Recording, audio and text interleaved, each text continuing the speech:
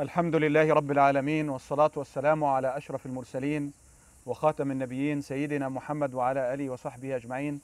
The early beginning, alaikum wa rahmatullahi wa barakatuh. And I hope, I hope you are enjoying this beautiful weather and uh, indeed that beautiful and nice uh, gathering as well.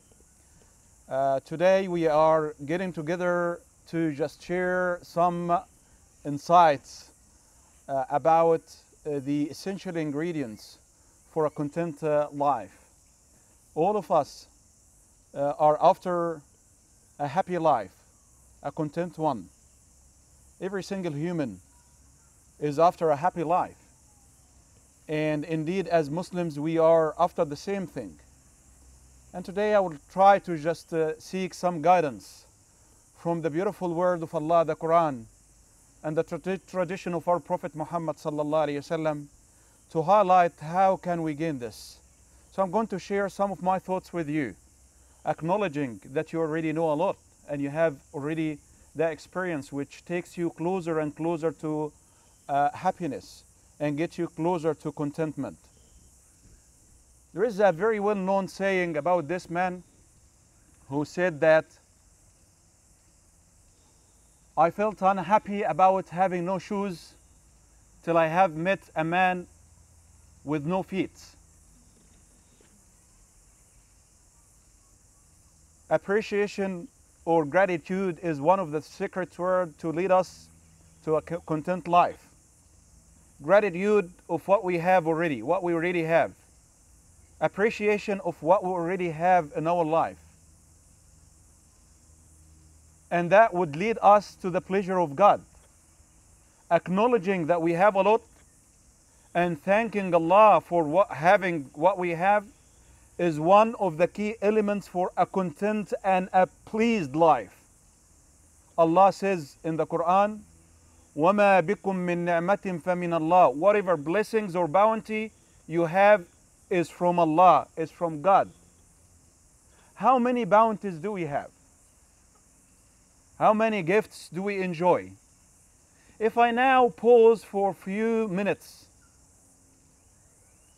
and ask you to just uh, share with your neighbor the bounties and the blessings you are enjoying this morning, and then get back to you and carry on this.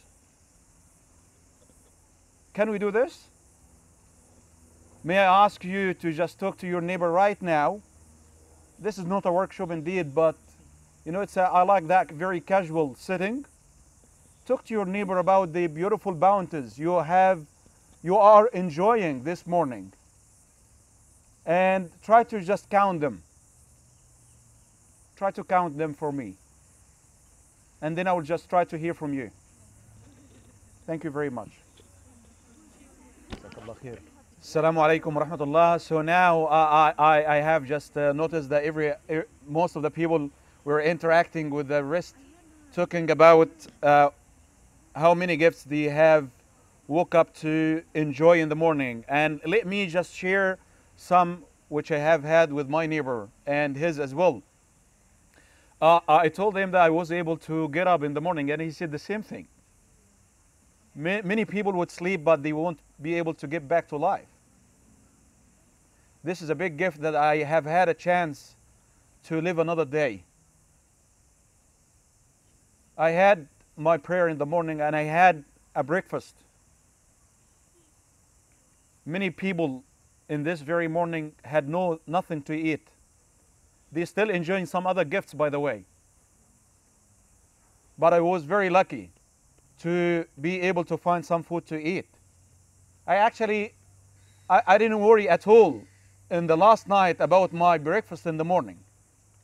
I had it already in the fridge. That was a big one a big gift from allah I came here by my car. While coming, I saw many of you coming walking. Compared to them, as I see it, I am in enjoying a gift. But those who came walking, they still enjoying the gift of being able to come walking, and they might even benefit more than me. The Haji said that he when, when he walked, he was able to get off the bed. This is a gift. Going to the mosque praying Fajr another one. coming to this beautiful gathering with those beautiful people is another gift. But I wasn't able to count all the bounties, nor him. How about you?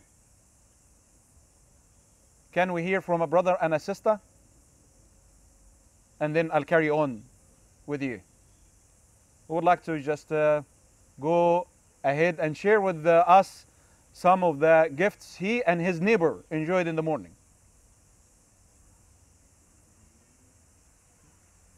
Yes, please. I was traveling on the road and I was a bit lost and I couldn't find my way. So it's amazing how Allah inspired us to create technologies. And example, the GPS. Now uh, how I got here. So alhamdulillah. Alhamdulillah. Welcome to the club. Alhamdulillah. So the GPS you have classified as a gift from Allah subhanahu wa ta'ala leading. Alhamdulillah, I used it in the morning for another meeting and I, I was lost anyway.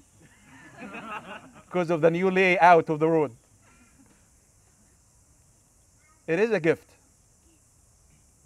Sometimes we don't tend to think about the gifts and the favors and the bounties. We think about what we're missing. Sisters?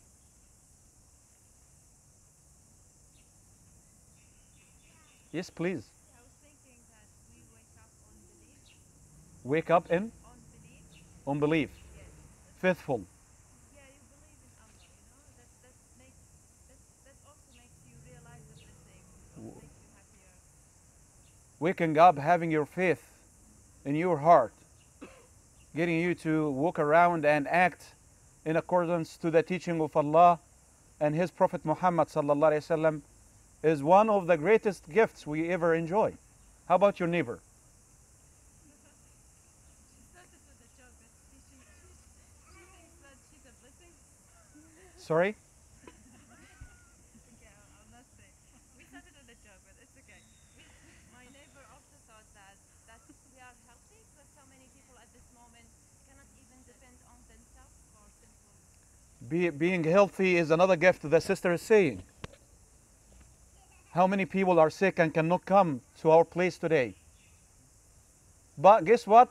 Even they are sick, they're still enjoying other pleasures and bounties of God. So we look at them and say that, oh, sad. They are not enjoying that gathering we're having right now. But they might say, oh, sad. They don't know actually they don't value, those guys might not be able to value what we're valuing now of the gifts of God as we are reflecting and contemplating while sick over how many gifts we never thank God for. And now it's time to thank Him. Being grateful to Allah subhanahu wa ta'ala of His bounties enable us to gain the pleasure of God. And Allah says that if we thank Him for whatever good He has given us, He would increase us in that good.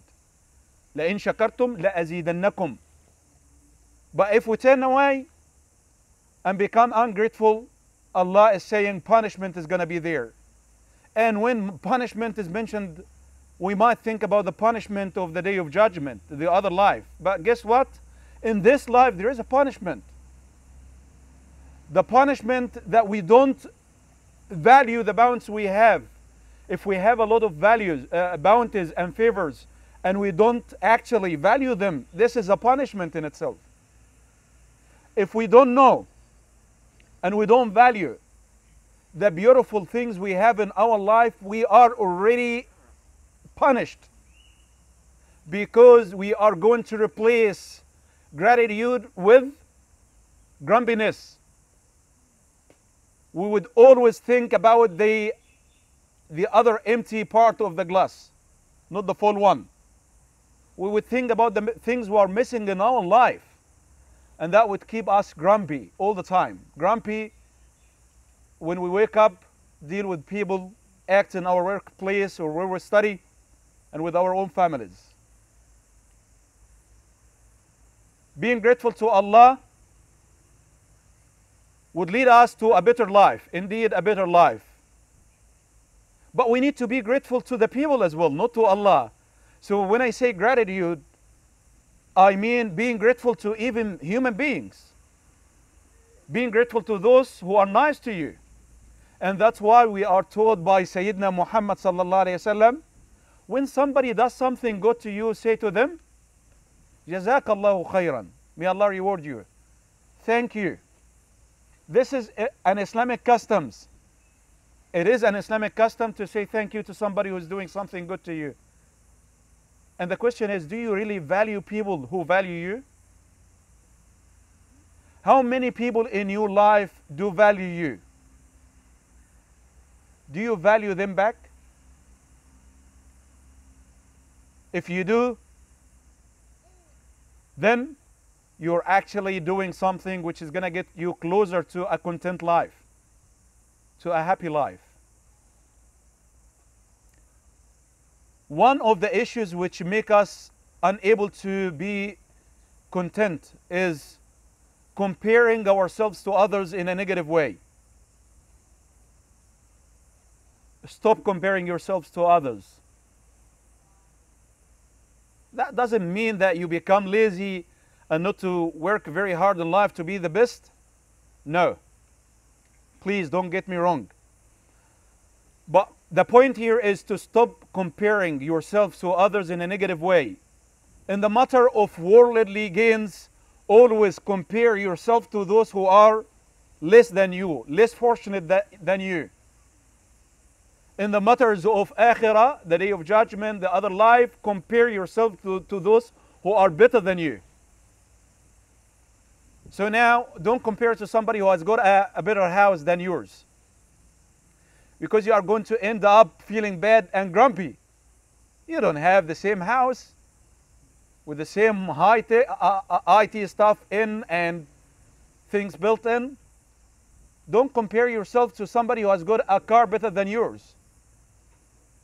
Because you are going to end up undervalue the gifts of Allah subhanahu wa ta'ala. Stop comparing yourself to other people around you in a negative way.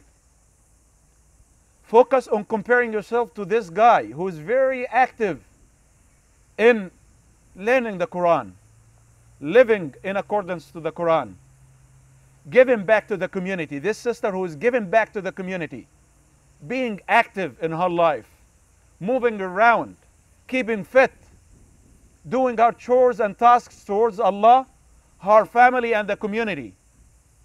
Be jealous in a nice way, jealous, and try to compare them to you. By doing so, you are gaining a content life. You are getting closer to the meaning of being happy and content. Be still, the second advice. You know, everything is moving around us. In this very digital age, everything is moving. We might be sitting. We might be sitting while we are checking our iPhones and other electronic devices. But our thoughts are not sitting, are not still. They are moving everywhere. And that causes us to be bit away from, from contentment and from happiness. Because we are not we are not still in our ideas, our thoughts. We don't have those peaceful moments. And that's why one of the very important things of the Islamic practice is to have time where you have dhikr. This is the sunnah way. In the morning, you need to have dhikr. In the evening, you need to have dhikr. Have you had your dhikr in the morning after your prayer? Are you going to have your 10 minutes dhikr after Maghrib prayer? What do you say in that? Do you do it by yourself or with your family?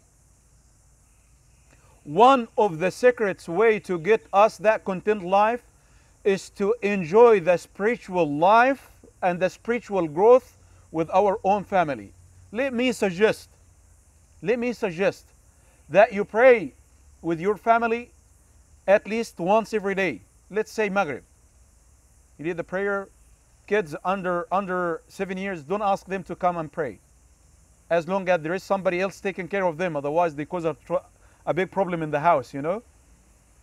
Don't ask them. But the older ones, ask them to get ready have the hijab on. Boys, get ready, dress right, get ready, pray Maghrib together, and after you finish, go to the Athkar. Loudly with the family to teach everybody. Make sure that everybody knows. You can do this loudly to teach. Astaghfirullah, astaghfirullah, astaghfirullah. And you need to know what you say and the meaning of what you say.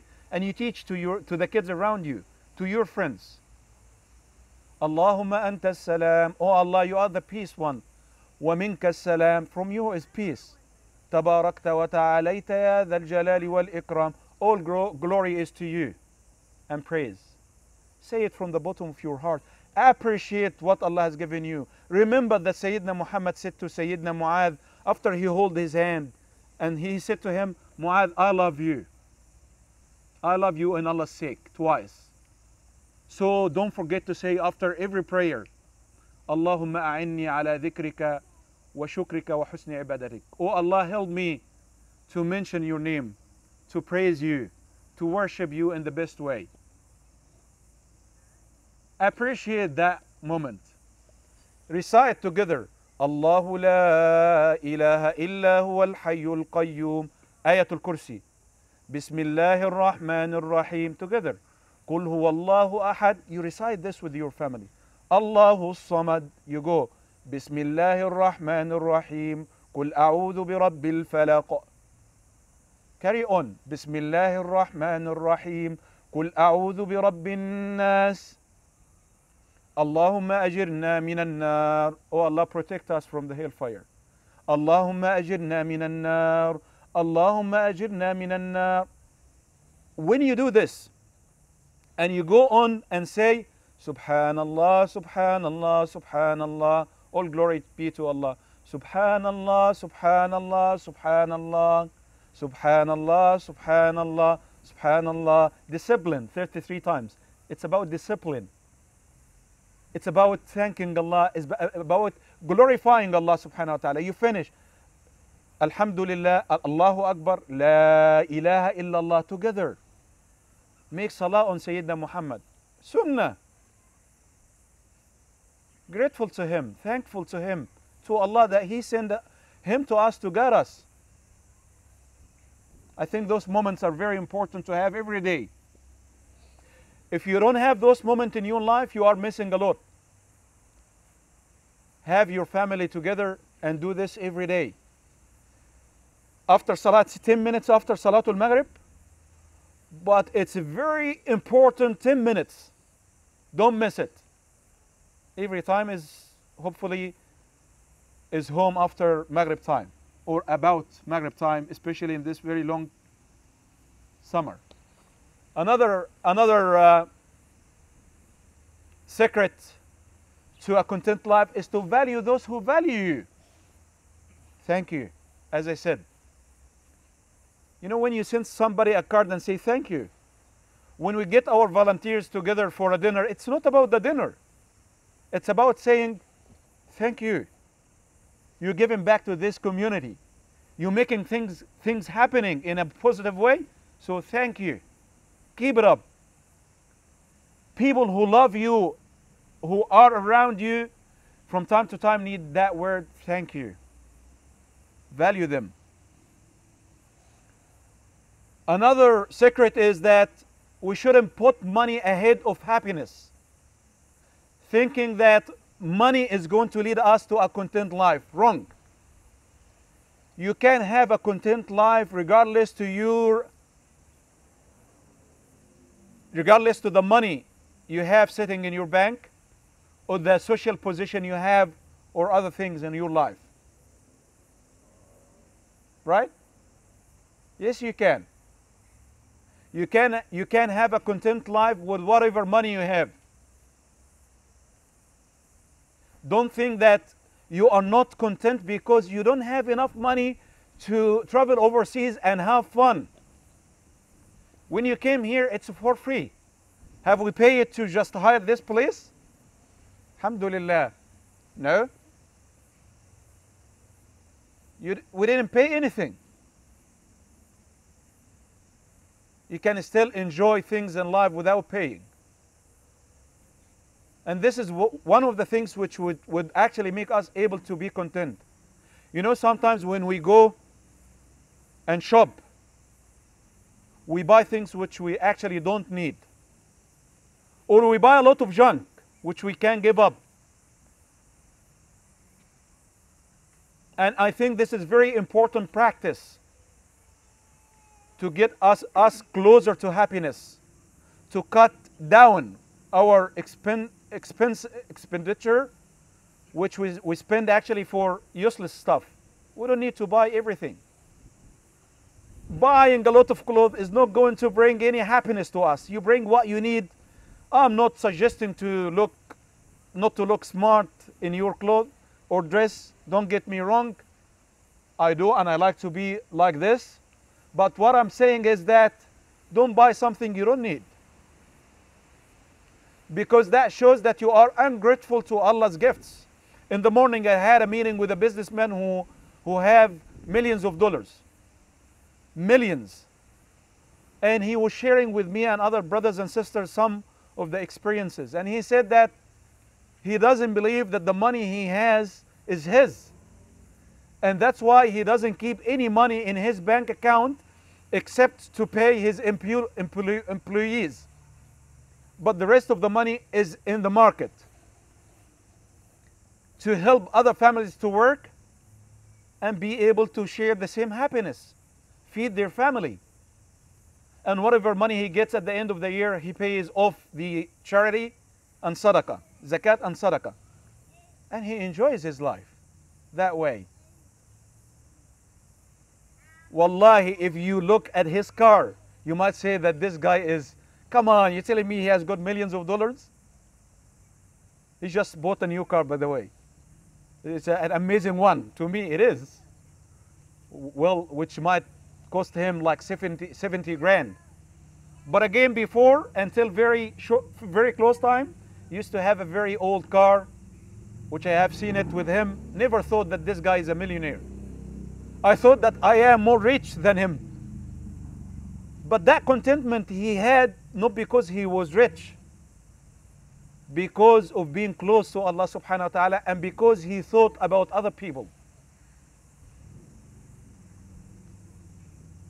Another secret do you help other people around yourself?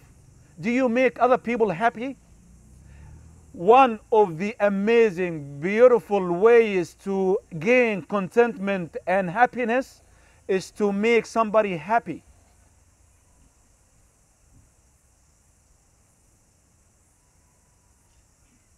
Do you, do, do you do actually this? Sayyidina Muhammad advised us to smile at the face of the people. And he told us that this is a charity. Why would smiling at you become an Islamic culture? Why? There is a research indicates or suggests that every one of us needs to smile at least 12 times a day to be happy.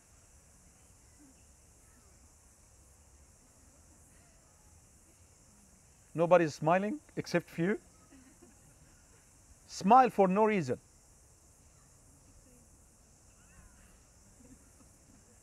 You look at the one next to you and smile, or you hug them, would actually make you feel, feel more content. May you do this for me? Give them a hug. يا عم ابو نصر I can't move هذا كله هيتكسر حتى اعطيني حضن يعني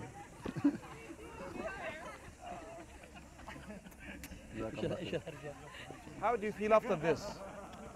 It is a very small and tiny thing. It is quite small and tiny thing. You haven't done a lot. Just turn it around, turn it around, give somebody a hug, and smile in their face. But how do you feel? We don't need to do a lot to be happy, but rather we need to feel what we do and enjoy it. We need to enjoy the moment and stop thinking about the future. Something my wife always suggests me to do is to stop worried to stop being worried about the future. I am not claiming that I know all the secrets to happiness. I am only sharing some of the keys I know with you. Who knows? Maybe some of you are ought to be in my place and teach us. But I'm only sharing some thoughts.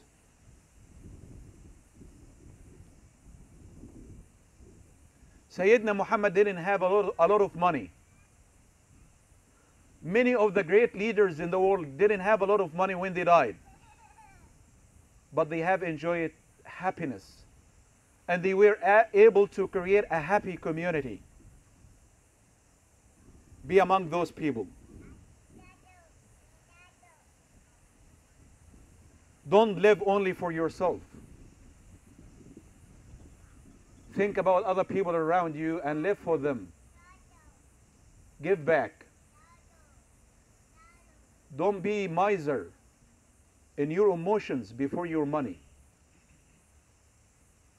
And that's why Sayyidina Muhammad taught us to smile. Because if we are generous in our positive emotions, we would indeed be generous when it comes to spending money. A person who is miser and stingy in his own emotions, in his, in his own emotions, most likely he's going to be stingy in terms of money. And other way around. Somebody is very miser in sharing money, paying zakat. Believe me, he would think many times before he says to his wife, I love you. Because he lives only for himself. He lives only for himself. He doesn't think too much about people around him. To gain happiness, we need to think about others. We need to be collective in our things, not think in, in individually. Rather, think collectively. Think in a way that get us us closer to Allah. And this is one of the secrets why we read every day in the Quran, Surah Al-Fatiha, and we call upon God to guide us to the right path, not guide rather than guide me. The Quran says, what do you recite? اهدنا الصراط المستقيم Ya Allah, guide us to the straight path. That would make sense when you pray with me and everybody else. But when you pray at home and say that, what does that mean? it means that you're still thinking about the wider community while praying to Allah. It means that you care about them. And it means that Allah wants you to care about them.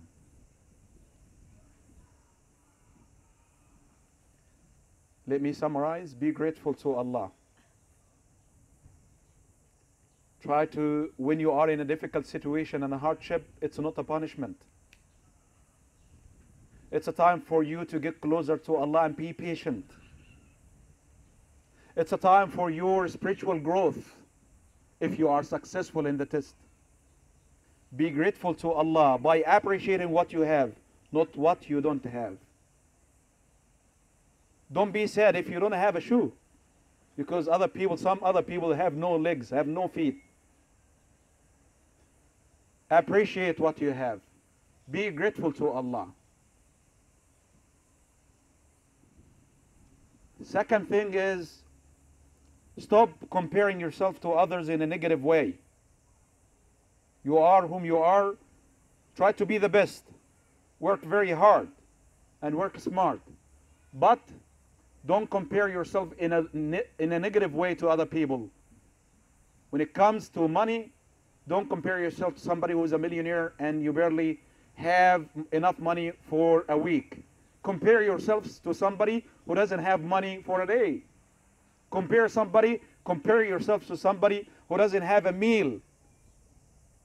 While you have a meal, you have a house, you have a beautiful wife or beautiful husband, you have a spouse, you have kids, all everybody's healthy and nice.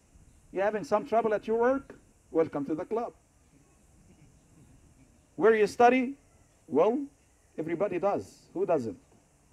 Don't think that you are the only one who's suffering in humanity.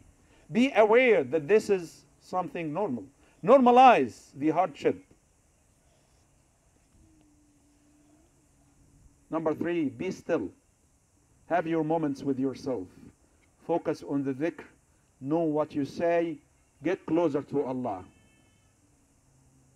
Get closer to Allah. When you say the remembrance words, adhkar, say it from the bottom of your heart. Say it with the art of feeling them when they come out of your mouth. And say them every day in the morning and the evening. Don't miss that. It is the food for your soul. How many of you missed yesterday three meals? All of them. Put your hand up, please. Okay, missed one, uh, two meals. Oh, two meals. Only one, maybe fasting, mashallah. Right. One meal. Maybe many people. I don't have, most cases, I don't have dinner. I'm already overweight. Only 3 kg, brother. Welcome to the club.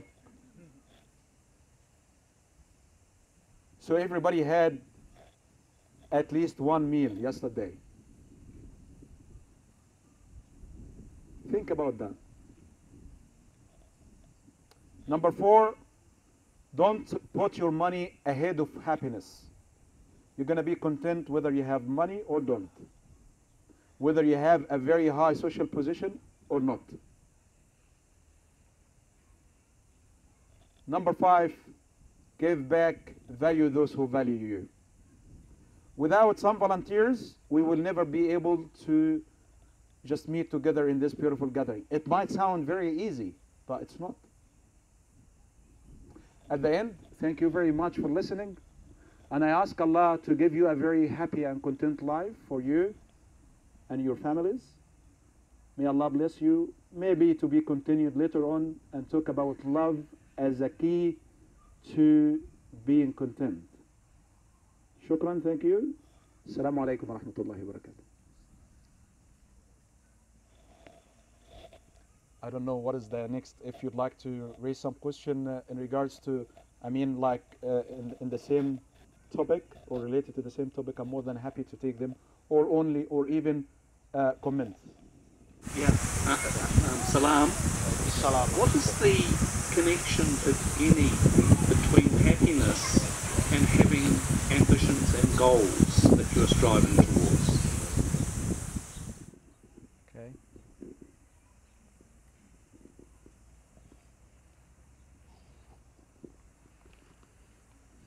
What is the connection between happiness and ambitious and goals to achieve in life?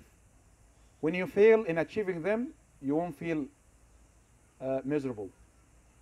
You would learn from the failure to be successful. But you will keep trying. Because one of the qualities of the believers in the Quran that they never give up. They never give up. This is what it came to my mind just straight ahead. That when you fall down, when you fall down and you feel that there is nobody there to help you, remember that, remember that Allah is there to help you. And that you can stand up on your feet and carry on. Don't think that it's the end of the world.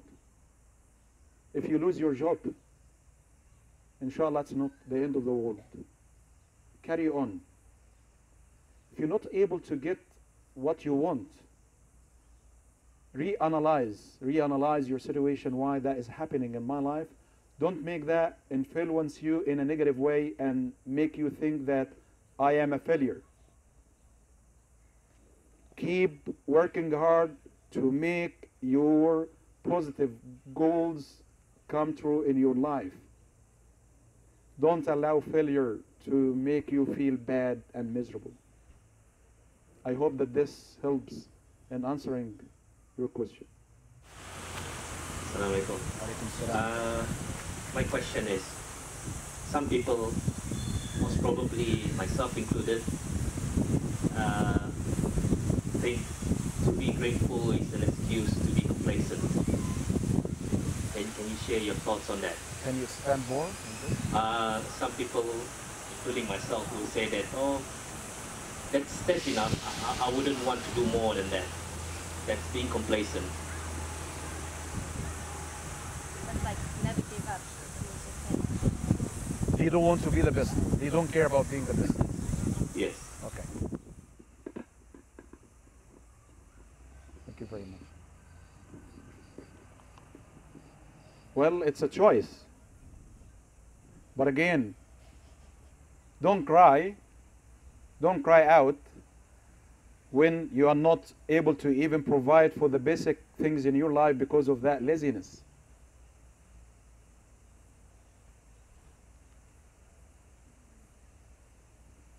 In Islam, in the Islamic history, when you read that the one who conquered the Pakistani area was only 16 years old. The Pakistani brothers and sisters just kept his, as a way of appreciation to him, had his name on one of the train, train stages in Karachi. His name was Muhammad. You would know that you cannot achieve good things in life without being active and trying your best. But again, it's a choice. And if you make a decision, you need to be able to know that you're going to be responsible for that decision. Don't blame God, blame yourself.